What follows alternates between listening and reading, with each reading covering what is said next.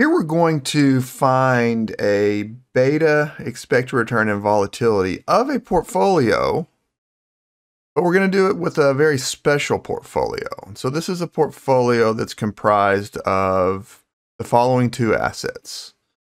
One, the overall market portfolio. So that's the first component. And the second component is T-bills. So again, we've got a two asset portfolio. One of the assets is the overall stock market. The other asset is T-bills. And so let's uh, define some terms up front that we're going to use later. So let's start with our weights. So WM is going to be the weight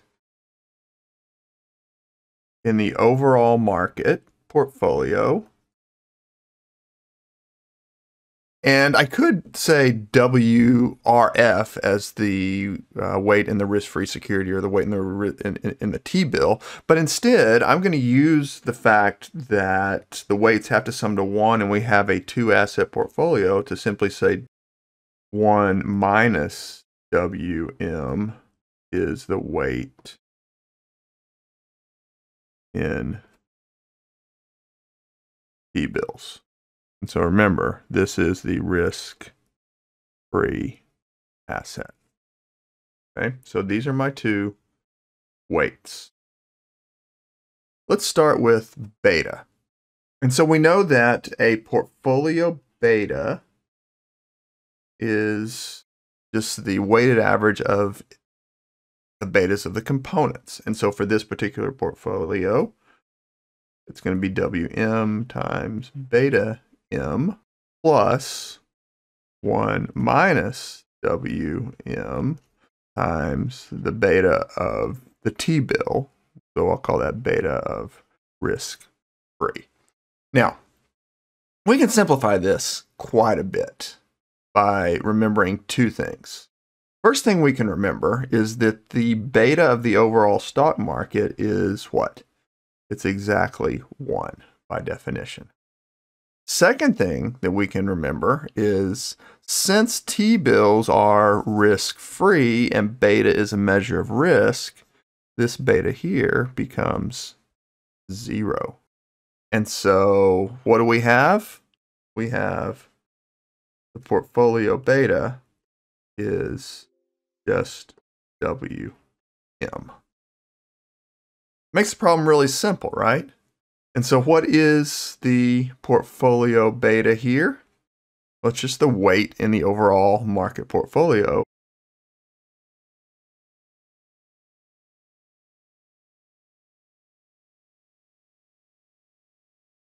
So the portfolio beta is 0.4.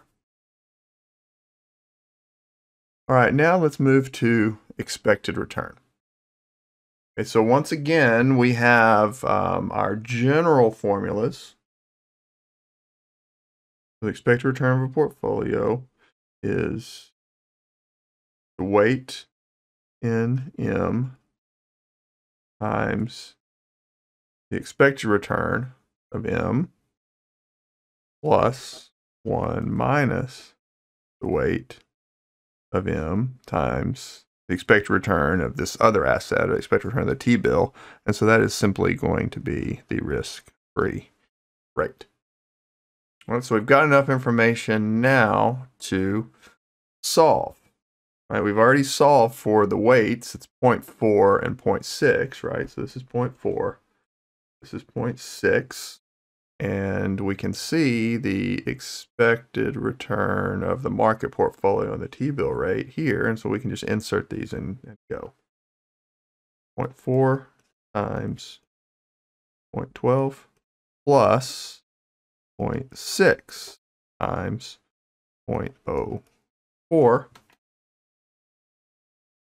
So the portfolio's expected return is 0.072. So there's the answer. Now, we could also use the fact that we calculated this portfolio's beta and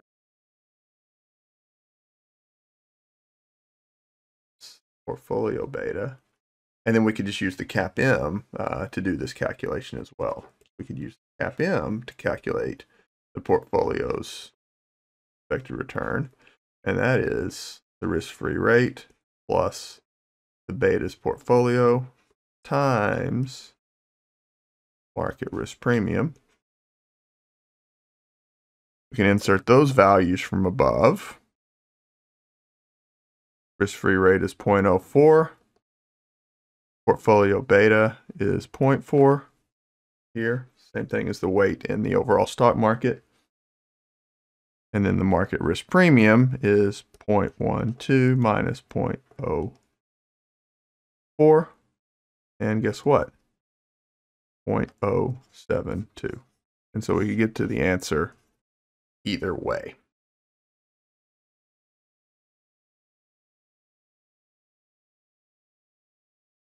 All right, one more calculation. That is the portfolio's volatility. So generally, we can think of a two asset portfolio's variance, right? We calculate the variance first, then take the square root to get to the volatility. Oh, so we can think of that as the first asset's weight squared times the ass first asset's variance plus second asset's weight squared times that asset's variance. And so I'll say variance of the risk-free asset plus 2 times the product of the volatilities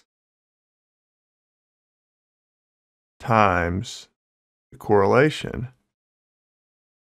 between the two assets. So that's the general formula. But remember, these assets are special, and so they're going to simplify. Things are going to simplify here as well. Uh, first thing that I want to recognize, well, really the only thing I need to recognize here is the following. Since the T-bill, again, is risk-free, that's going to be 0, and that's 0, and that's 0. So that term goes to 0. And so sigma squared p, or the portfolio variance, is just the weight in the market squared times the variance. And we can actually go ahead here and take the square root of both sides before we insert values. So sigma p is Wm times sigma m. And so if we can just insert those values, we will be done. So what is the weight in the overall stock market? That's 0.4. What's the volatility of the overall stock market? That is 0.22. And the answer is 0.088. There is the portfolio's volatility.